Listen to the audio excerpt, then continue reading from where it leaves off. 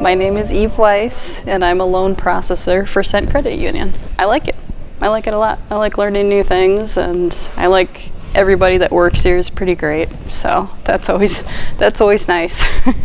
Thank you for calling Cent Credit Union. This is Eve speaking. How may I help you? I was a teller member service rep for about three, four weeks. Met a lot of members, and that was great. Getting to meet people is exciting. Ah, okay. Thanks for holding. I worked in customer service for about seven years. I've worked in the liquor distribution business, and then the past few years in the auto industry, and now in the banking world. So this is all new to me. It's pretty exciting.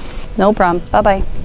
I met my husband in Minneapolis, and he's from here originally, and he was offered um, a good job down here, so we we both moved down here, which is really nice. His family is is all over in the city, so we get to see them all the time, which is pretty great.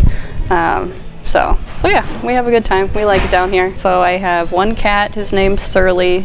I adopted him from a farm because he was being picked on by the tomcat. Outside of work, I usually go home and check on the garden, make sure that make sure things are are living and I usually let my cat outside too and then he tries to catch birds. Gardening, um, me and my husband like to brew beer, we like to go on walks, um, like to be outside really, it's just important to us. my husband has, or his dad has a cabin on Clear Lake so we like to go there on the weekends. I like to have fun and uh, make jokes. I probably got that from my dad because he's he's a riot and doesn't take things. He tries not to take things too seriously, which I think it's important to to have fun. Well, as also while you're at work.